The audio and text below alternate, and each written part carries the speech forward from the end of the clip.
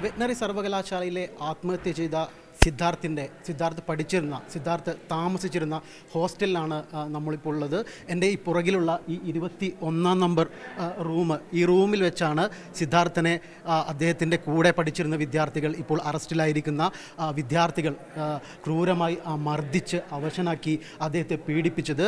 അതോടൊപ്പം തന്നെ ഈ ഹോസ്റ്റലിൽ വെച്ചാണ് ഇദ്ദേഹത്തെ വിചാരണയ്ക്ക് വിധേയനാക്കിയത്. അതോടൊപ്പം തന്നെ നമുക്ക് ഈ ഹോസ്റ്റലിന്റെ താഴ്ഭാഗത്തേക്ക് നോക്കിയാൽ ഇവിടെ ഈ ടെന്നീസ് കോർട്ട് ആ, നമുക്ക് കാണാൻ സാധിക്കും.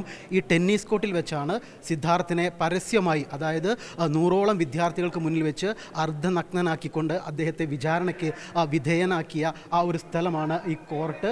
ഇവിടെ ഡോർമെട്രി ഉണ്ട്. ഈ ഡോർമെട്രിക്ക് അകത്ത് വെച്ചും ഇദ്ദേഹത്തെ പീഡനത്തിന് ഇരയാക്കി അദ്ദേഹത്തെ കട്ടിൽ നിന്ന് താഴേക്ക് തള്ളിയിട്ടു മറ്റ് വിദ്യാർത്ഥികളെ കൊണ്ട് മർദ്ദിപ്പിക്കാൻ അല്ലെങ്കിൽ അവരോട് മർദ്ദിക്കാൻ വേണ്ടി ഉത്തരവ് നൽകി. ഇതെല്ലാം നടന്ന നടന്നത് ഇവിടെ വെച്ചാണ് ഉണ്ടായിരിക്കുന്നത്. ഇതിനകത്ത് ഉള്ള ഒരു ഡോർമെട്രി ഉണ്ട്. ആ ഡോർമെട്രിക്ക് അകത്ത് വെച്ചാണ് അദ്ദേഹത്തെ ക്രൂരമായി മർദ്ദിച്ചത്. അതായത് നമുക്കറിയാം പതിനാലാം തീയതിയാണ് ഇതിനാസ്പദമായ ഈ പ്രശ്നങ്ങളെല്ലാം തന്നെ ഉണ്ടാകുന്നത്. പതിനാലാം തീയതി സിദ്ധാർത്ഥ് ഒരു പെൺകുട്ടിയോട് പ്രപ്പോസൽ നടത്തുന്നു അല്ലെങ്കിൽ പ്രണയാഭ്യർത്ഥന നടത്തുന്നു. അതുമായി ബന്ധപ്പെട്ടുണ്ടാകുന്ന പ്രശ്നങ്ങൾ പിന്നീട് പതിനഞ്ചാം തീയതി സിദ്ധാർത്ഥൻ ആ വീട്ടിലേക്ക് പോകാൻ തുനിഞ്ഞ് അദ്ദേഹം വീട്ടിലേക്ക് പോവുകയായിരുന്നു പതിനഞ്ചിന്. അദ്ദേഹത്തെ പിന്നീട് അദ്ദേഹത്തിന്റെ തന്നെ കൂട്ടുകാർ റഹാൻ ഇപ്പോൾ കേസിൽ പ്രതികളായിട്ടുള്ള അറസ്റ്റിലായിട്ടുള്ള റഹാൻ വിളിച്ചു വരുത്തുകയായിരുന്നു. അതിനുശേഷമാണ് ഇവിടെ കൊണ്ടുവന്ന് ക്രൂരമായി മർദ്ദിച്ചത്. അതോടൊപ്പം തന്നെ ഈ ഹോസ്റ്റലിന് അപ്പുറത്തൊരു ഒരു പ്രദേശമുണ്ട് ഒരു കുന്നിൻ ചെരുവുണ്ട്. ഇതിനപ്പുറത്തൊരു ടാങ്ക് ഉണ്ട് വലിയ ടാങ്ക് ഉണ്ട് ഈ ടാങ്കിന്റെ അടുത്ത് വെച്ചും അതോടൊപ്പം തന്നെ ഈ കുന്നിൻ ചെരുവിൽ വെച്ചെല്ലാം തന്നെ അദ്ദേഹത്തെ ക്രൂര മർദ്ദനത്തിന് ഇരയാക്കി. എന്തായാലും ഈ ഇതാണ് ഈ ഈ ഹോസ്റ്റലാണ്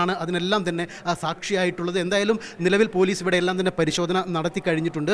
മറ്റൊരു പ്രധാനപ്പെട്ട കാര്യം കഴിഞ്ഞ ദിവസങ്ങളായി തന്നെ ഇതുമായി ബന്ധപ്പെട്ട് വലിയ പ്രതിഷേധങ്ങളാണ് ഈ ക്യാമ്പസിലുണ്ടായിരിക്കുന്നത്.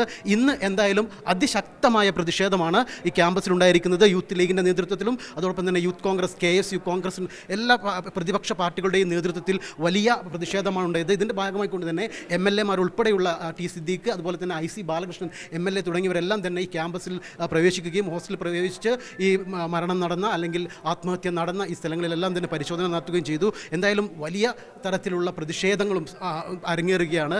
എന്തായാലും ഒരു സംഘർഷാവസ്ഥ നിലവിൽ ഈ ക്യാമ്പസിലുണ്ട്. വരും ദിവസങ്ങളിലും സംഘർഷാവസ്ഥ തുടരും എന്ന് തന്നെയാണ് മനസ്സിലാക്കാൻ സാധിക്കുന്നത്. എന്തായാലും നമ്മളിപ്പോൾ ഈ ദൃശ്യങ്ങളിൽ കാണുന്ന ഈ ഈ ക്യാമ്പസ് ഈ ഹോസ്റ്റൽ ഈ ഹോസ്റ്റലിൽ വെച്ചാണ് ഇത്തരത്തിലുള്ള പീഡനം ഇത്തരത്തിലുള്ള മർദ്ദനം ഇത്തരത്തിലുള്ള ആൾക്കൂട്ട വിചാരണ എല്ലാത്തിനും തന്നെ സിദ്ധാർത്ഥ വിധേയമായിട്ടുള്ളത്. ഇതിൽ മനന്നൊന്നാണ് അദ്ദേഹം ആത്മഹത്യ ചെയ്തത് അല്ലെങ്കിൽ കുടുംബം ആരോപിക്കുന്നത് പോലെ അദ്ദേഹത്തെ കൊലപ്പെടുത്തി എന്ന ഒരു ആരോപണമാണ് കുടുംബത്തിന്റെ ഭാഗത്തുള്ളത്.